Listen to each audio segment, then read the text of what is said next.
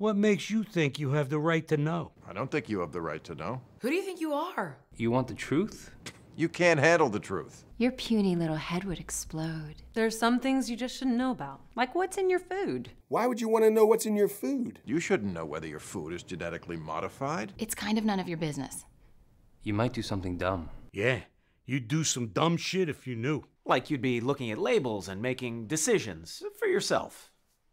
You might decide not to buy food that contains GMOs. Certain companies would lose a lot of money if you didn't buy their stuff. Knowing if you're eating or buying genetically engineered food is not your right. It's just not. Oh, maybe move to Europe or Japan if you want that right. Or China. Or India. Or a lot of countries where people have the right to know.